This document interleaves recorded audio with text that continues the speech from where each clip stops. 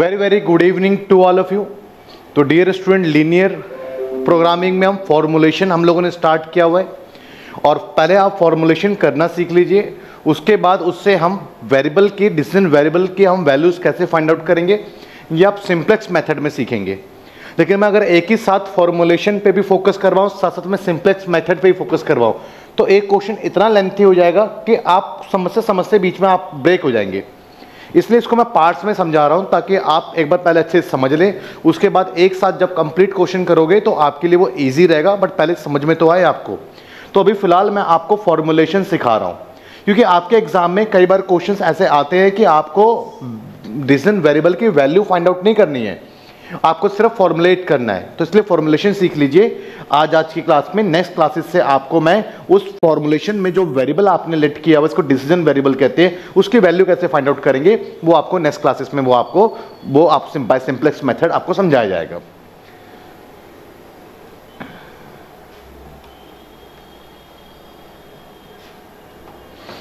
देखो बच्चे, देखिएगा फ़र्स्ट क्वेश्चन है साथ साथ आप भी फॉर्मुलेशन करें और आप कमेंट बॉक्स में लिखें कि आपका क्या आंसर आ रहा है क्वेश्चन है आप person required 10 12 and 12 units of a chemicals A B and C respectively for the garden for this garden a liquid product contains 5 2 and 1 unit of A, B and C respectively per jar and a dry product contains 1 2 and 4 units of a ABC per cartoon. तो basically यहाँ से क्या समझ में आया आपको? आपके पास में पहले केमिकल के थ्री टाइप्स ऑफ़ केमिकल है। तो केमिकल के बारे में आप ये लिखें। पहले टेबल बना लेंगे तब इक्वेशन बनाना इजी रहेगा। केमिकल्स है आपके पास में उसके बाद आपके पास में दो टाइप के प्रोडक्ट है। एक, एक लिक्विड प्रोडक्ट है। एक आपके पास में बच्चे लिक्विड प्रोडक्ट है। और एक आपका ड्राई प्रोडक्ट है।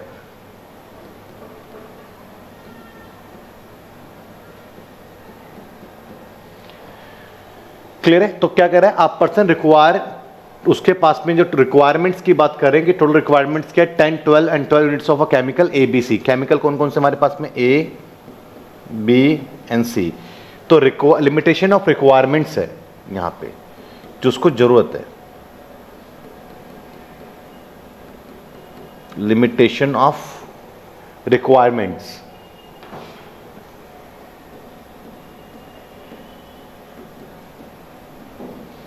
Limitation of requireds तो फ़र्स्ट आपके पास में A chemical a person requires ten twelve and twelve unit of a chemical A B C तो उसके पास में केमिकल ए की रिक्वायरमेंट उसकी कितनी है?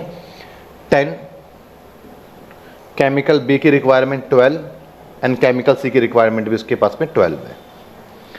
ABC respectively garden. A liquid product contains 5, 2 and 1. Liquid product के लिए क्या चाहिए 5, 2 and एक लिक्विड प्रोडक्ट को बनाने के लिए जो मेरे पास में केमिकल ए है वो मुझे 5 चाहिए केमिकल बी है 2 चाहिए केमिकल सी है वो मुझे 1 जार चाहिए respectively per jar a dry product contents अगर मैं one unit of dry products बना रहा हूँ तो one two four units of A B and C चाहिए। ड्राई प्रोडक्ट के लिए वन टू एंड फोर चाहिए।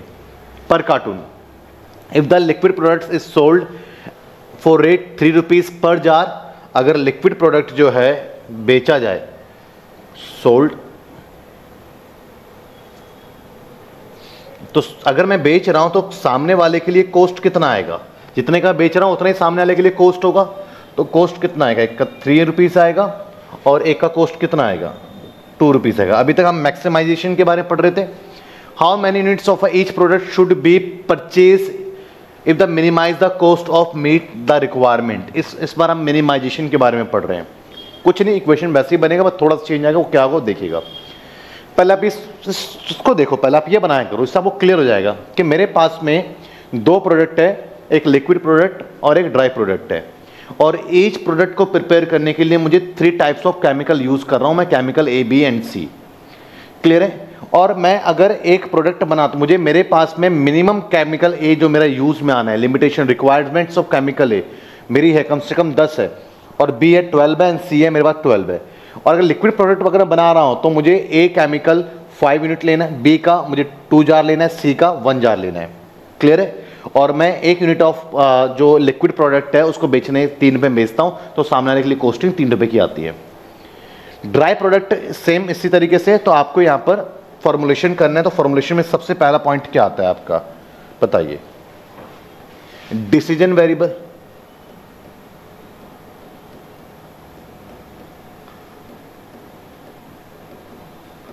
decision variable basically आप क्या बनेंगे? Let x1 is the number of product liquid product. A unit of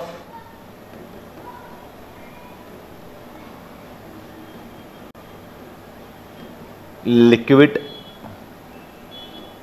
product and x2 is the unit of dry product. क्या मतलब है इसका, क्या मतलब है इसका? इसका मतलब ये है,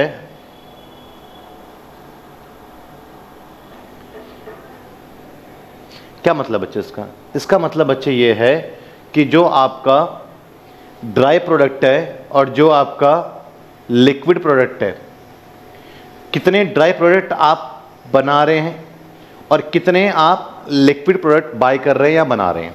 कितने नंबर तो लिक्विड प्रोडक्ट आपके पास में उसकी यूनिट्स एक्स वन है और ड्राई की आपके पास में एक्स टू है।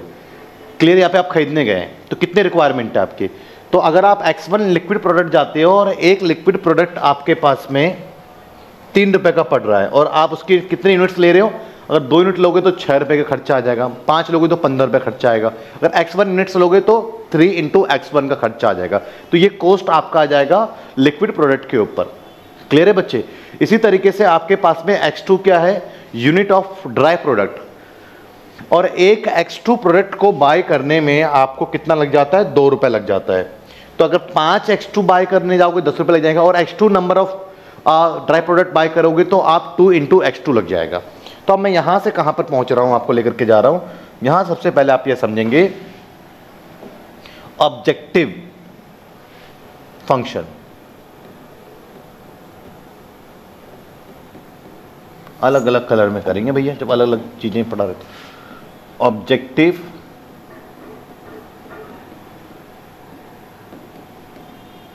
फ़ंक्शन आपका बच्चे ऑब्जेक्टिव फ़ंक्शन क्या है? तो ऑब्जेक्टिव फ़ंक्शन में अगर आप देखते हैं तो फ़र्स्ट ऑफ़ ऑल आपको जेड इक्वल्स टू आपके पास में ए का कॉस्ट कितना आ रहा है? थ्री रुपीज़ और कितना बाय कर रहे हो आप liquid product X one unit तो टोटल कॉस्ट लिक्विड प्रोडक्ट का इतना आ गया. एंड ड्राई प्रोडक्ट का एक का कॉस्ट कितना है? टू रुपीज़ और कितने नंबर ऑफ़ यूनिट आप बाय कर रहे हो ड्राई प्रोडक्ट एक्स टू ये कॉस्ट आ गया. एंड इसको आप क्या करो? प्लस करो. ठीक है? एलएलपी क्लासेस जो आपके शेड्यूल में चल रही है, जो टाइम टेबल आपके पास में टीटीएस में इवनिंग में, वो क्लासेस चलती रहेंगी आपकी लीनियर प्रोग्रामिंग की शाम को। तो आपके पास में जेड इक्वल्स टू क्या है? Three X one plus two X two this one ये आपका ऑब्जेक्टिव फ़ंक्शन है, इसी को आपको मिनिमाइज करना है। ये कोस्ट हो गया ना लिक्विड प्रोडक्ट के ऊपर कोस्ट एंड ड्राई प्रोडक्ट के ऊपर कोस्ट एंड टोटल कोस्ट आ गया। इस कोस्ट को आपका पर्पस क्या है? मिनिमाइज करना। तो सवाल ये है कि लिक्विड प्रोडक्ट मैं कितनी बाय करूँ और ड्राई प्रोडक्ट में कितनी बाय करूँ जिससे कि मेरा टोटल कॉस्ट क्या हो जाए? मिनिमाइज हो जाए। तो नंबर ऑफ़ यूनिट जो आप निकालोगे, वो तो आपको नेक्स्ट क्लास में सिंप्लेक्स मेथड में बताया जाएगा। अब उसके बाद बच्चे, बारी किसकी आई? कॉन्स्टेंट की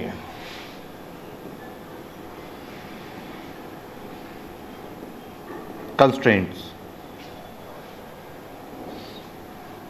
कॉन्स्टेंट्स में बच्चे फ़र्स्ट ऑफ़ ऑल आप यहाँ पे समझे कि आपको फाइव, आपके पास में लिक्विड प्रोडक्ट कितना है? आपके पास में एक्स वन है।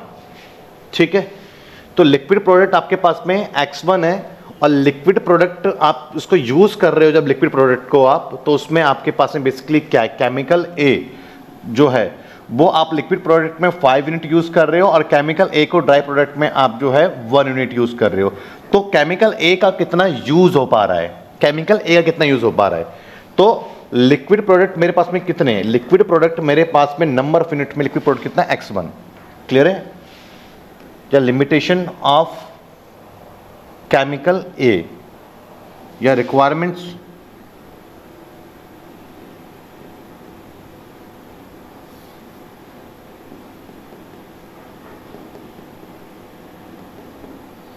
Limitation of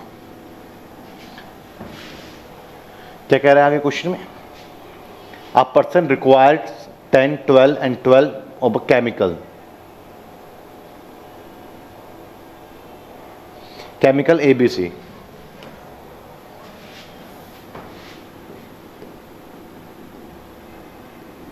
require of chemical A ठीक है? तो फ़र्स्ट ऑफ़ ऑल मेरे पास में a, liquid product X one unit है, ठीक है?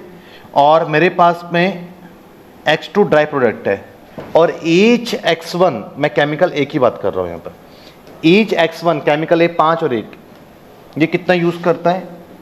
ये फाइव और ये कितना यूज़ करता है? ये वन तो जो लिक्विड जो मेरे पास में प्रोडक्ट है, वो फाइव यूनिट यूज़ कर लेता है केमिकल ए का, और जो मेरे पास में ड्राई प्रोडक्ट है, वो वन यूनिट यूज़ कर लेता है केमिकल ए का। और क्या कह रहा है, कम से कम रिक्वायरमेंट कितना है यूज़ करने के लिए? कम से कम टेन है मिनिमम टेन है। तो मिनिमाइजेशन के अंदर क्या होता है कि जब आपके पास में रिक्वायरमेंट है मिनिमम है तो यहाँ पर आपके पास में लेस देन का नहीं लगेगा, यहाँ पर आपका मोर देन का लगेगा दिस वन ये डिफरेंस बस यहाँ पर आता है इक्वेशन बनाने मिनिमाइजेशन में। ये लेस देन जो इक्वल्स टू होता था, वो मोर देन इक्वल्स टू के इक्वेशन कॉन्स्टेंट के अंदर डेवलप होंगे।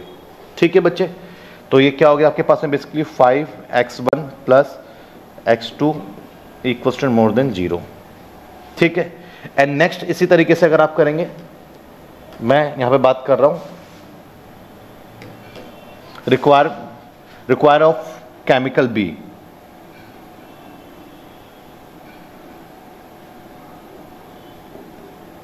requirement of chemical B similar मेरे पास में केमिकल बी की रिक्वायरमेंट क्या होता है, वो देखते हैं। केमिकल बी दो चाहिए और दो इसको भी चाहिए। तो लिक्विड प्रोडक्ट को दो चाहिए और number of liquid product X one है और ड्राई प्रोडक्ट को भी दो यूनिट चाहिए और इसका भी दो। X two number of unit है। तो टोटल कितना मेरा यूज़ होगा? तो रिक्वायरमेंट कम से कम कितना होना चाहिए इसके लिए? लिमिटेशन पे दिया हो ट्वेल्व चाहिए चाहिए। तो उससे ज़्यादा भी चलेगा। This one and last one last one is requirement of chemical B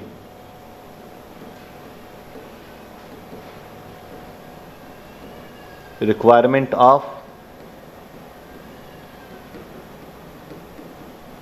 chemical B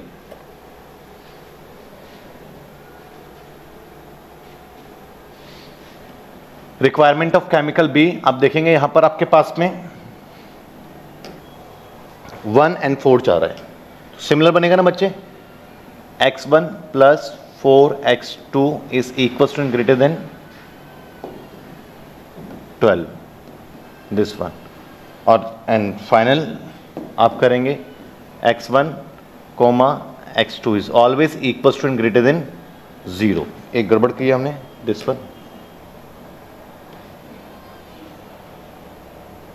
हम्म ठीक है। सही है। ये हो गया। तो बेसिकली मेरे कॉन्स्टेंट मेरे पास में क्या क्या इक्वेशंस आ गई हैं?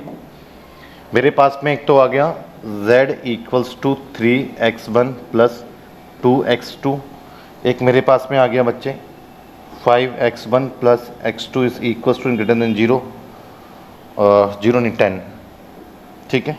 यहाँ गड़बड़ की है मैंने एंड। एक आ गया मेरे पास में two X one plus two X two is equal to greater than twelve और X one plus four X two is equal to greater than twelve clear है? समझ में आया आपको ये? कोई doubt and final final X one comma X two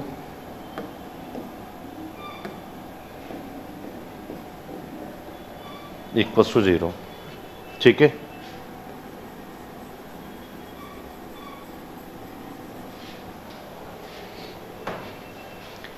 सिमाया बच्चे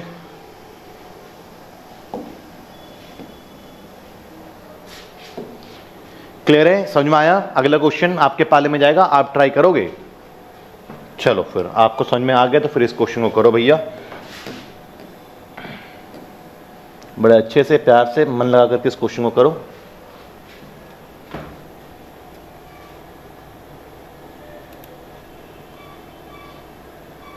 देखिए बच्चे, इस क्वेश्चन में क्या है?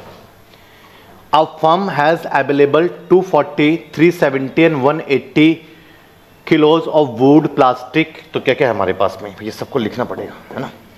लिख लेते हैं। क्या क्या है मेरे पास में? वुड है, प्लास्टिक है एंड स्टील तीन मटेरियल है मेरे पास में, और ये मेरे पास अवेलेबल कितना कितना है? लिमिटेशन ऑफ़ मटेरियल बोल सकता हूँ मैं इसको, है ना? ये क्या है? ये मटेरियल है। और यहाँ पे मैं लिख सकता हूँ, और क्या कर रहे हैं? पहले पूरा पढ़ लेते हैं। The firm produces two products A and B product A, product B, ठीक है? And limitation of product limitation of material limitation of limitation of material आप देखिए बच्चे मेरे पास में क्या है? मेरे पास वुड कितना अवेलेबल है? या limitation of available of material wood कितना है मेरे पास में टोटल 240 फोर्टी के जी एंड मेरे पास में प्लास्टिक 370 सेवेंटी के जी अवेलेबल है. एंड मेरे पास में steel 180 eighty K G available है. The firm produces two products A and B each unit of a product A required अगर मैं ए की बात करूँ तो ए को क्या रिक्वायरमेंट है? वन वुड चाहिए थ्री यूनिट ऑफ़ प्लास्टिक चाहिए two K G close of आपके पास में इसको स्टील एक सेकेंड क्या कह रहा है देख लेते हैं। Wood plastic and steel respectively ठीक है। अब क्या चाहिए इसको? One three and two kilos of wood one क्या है? वन किलो वुड थ्री क्या है? Plastic and two wood plastic and steel respectively ठीक है। तो पहला वाला वुड है प्लास्टिक है एंड स्टील है। दिस वन प्रोडक्ट ए को, यही रिक्वायरमेंट चाहिए। प्रोडक्ट बी को the corresponding the requirement for the each unit of a product B एक यूनिट ऑफ़ प्रोडक्ट बी बनाने के लिए मुझे थ्री यूनिट ऑफ़ वुड चाहिए फोर यूनिट ऑफ़ मुझे प्लास्टिक चाहिए एंड वन यूनिट ऑफ़ मुझे स्टील चाहिए। If A sells the four rupees and B four A को चार पे बेचा गया सेलिंग प्राइस और बी को छह रुपए बेचा गया। Determine how many units of A B should be produce to obtain the maximum gross income income और रेवेन्यू बात एक ही होती है। तो अगर एक चार रुपए में बेच रहा हूँ, अगर मैंने पाँच बना लिए तो बीस रुपए में बिकेगा, आठ बना लिए तो बत्तीस रुपए में बिकेगा। तो जितने बिकेगा उतनी तो मेरी इनकम होगी तो इसलिए यहाँ पर कोस्ट का कोई रोल नहीं है प्रॉफिट का कोई रोल नहीं है सीलिंग प्राइस का रोल है।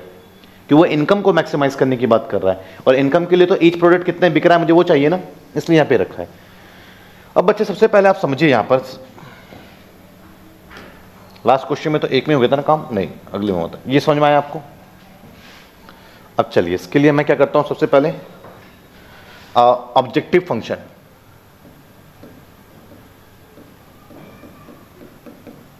ऑब्जेक्टिव फ़ंक्शन नहीं, पहले तो हम डिसीज़न वेरिएबल लेट करेंगे ना। Decision variable let x1 is the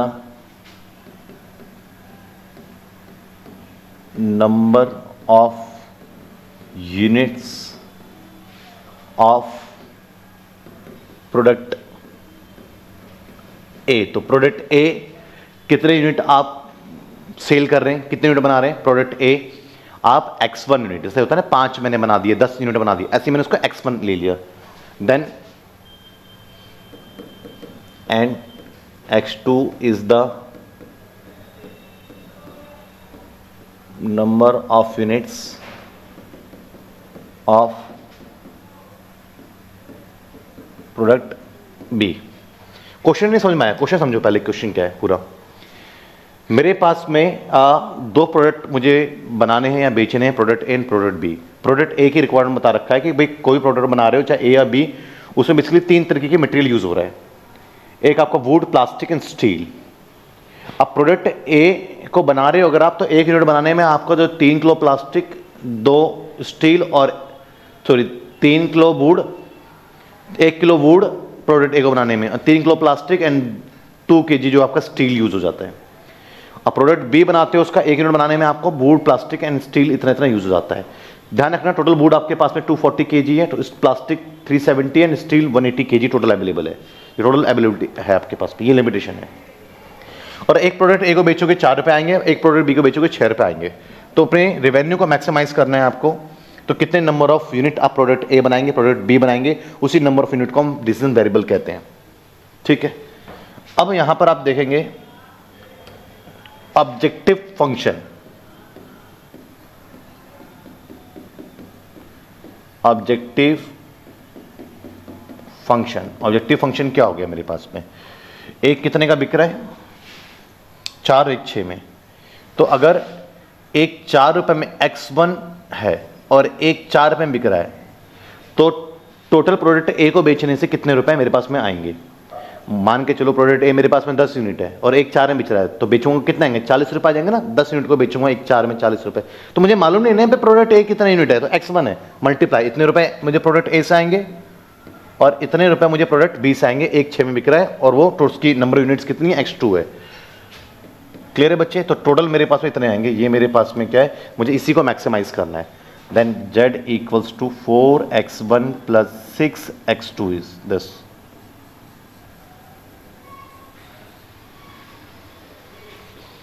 clear है बच्चे? समझ में आया आपको? कुछ संदेह है तो आप पूछेंगे। चलो। आगे बढ़ते हैं फिर।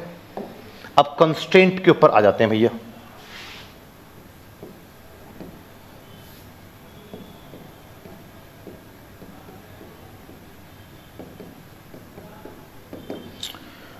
कॉन्स्टेंट हम ये करते हैं available of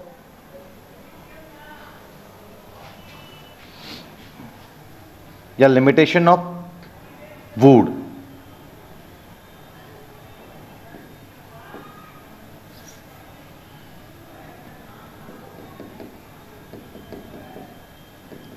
limitation of wood wood की लिमिटेशन की बात करते हैं। तो x1 तो मेरे पास में प्रोडक्ट ए है। X2 तो number of unit product B है। प्रोडक्ट ए मेरा कितना वुड ले रहा है? एक और बी तीन। तो एक यूनिट एक लेता है तो एक्स वन है तो इतना ले जाएगा मेरा। और एक्स टू बी प्रोडक्ट मेरा, एक बी प्रोडक्ट को बनाने में, एक बी प्रोडक्ट को बनाने में तीन यूनिट चले जाते हैं। तो एक्स टू नंबर्स में है तो कितना ये तीन किलो वुड जो है थ्री के जी वुड जो है, एक एक्स टू बनाने में लग जाते हैं। तो नंबर ऑफ़ एक्स टू से मल्टीप्लाई कर दूँगा तो एक्स टू को कितनी रिक्वायरमेंट है वुड की? एक्स वन को कितनी रिक्वायरमेंट है बूट की? दोनों की रिक्वायरमेंट किससे कम होनी चाहिए? क्या लिमिटेशन है इसकी? 240 सिमिलर प्लास्टिक तीन चार. प्लास्टिक की अगर मैं बात करता हूँ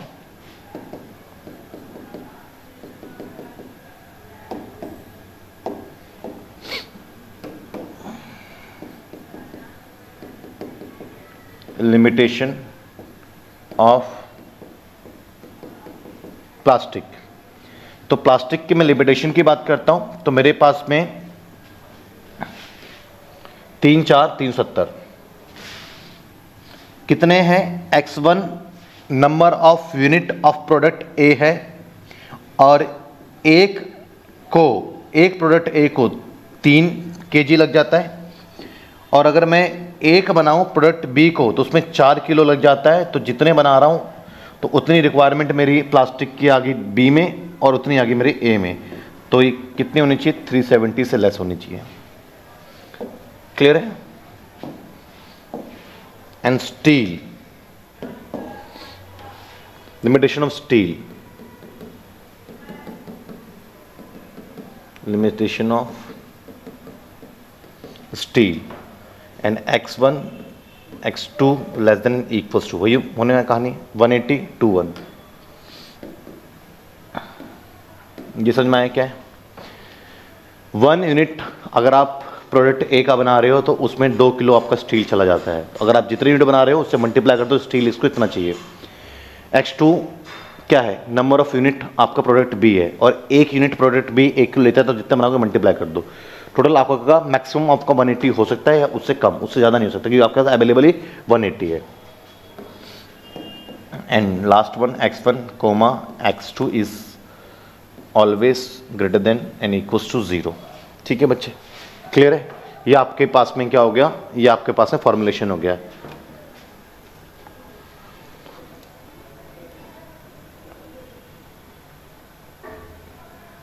तो उसमें प्रॉफिट मैक्सिमाइज करने की बात करता बच्चे आपसे। ठीक है ना? जब सेलिंग प्राइस और कॉस्ट प्राइस दोनों होता तो उसमें बोलता प्रॉफिट मैक्सिमाइज करो। तो प्रॉफिट की रिक्वायरमेंट होती तो मैं selling price minus cost price करके प्रॉफिट निकालता। क्लियर है? एक बच्चा कह रहा है, sir selling price and cost price दोनों होता तो मुझे अपने पास में क्या रखना पड़ता? तो आपके क्वेश्चन में क्लियरली मेंशन होता कि प्रॉफिट मैक्सिमाइज करो। और प्रॉफिट चाहिए था आपको प्रॉफिट की रिक्वायरमेंट थी आपको, क्योंकि आप ऑब्जेक्टिव फ़ंक्शन में आप प्रॉफिट मैक्सिमाइज करेंगे। तो आपको प्रॉफिट की नीड है तो प्रॉफिट कैसे बनाएँगे आप? तो प्रॉफिट बनाने के लिए आपको selling price minus cost price करोगे तो प्रॉफिट आएगा। मैंने नेक्स्ट क्वेश्चन रखा हुआ ऐसा, उसमें देखिएगा।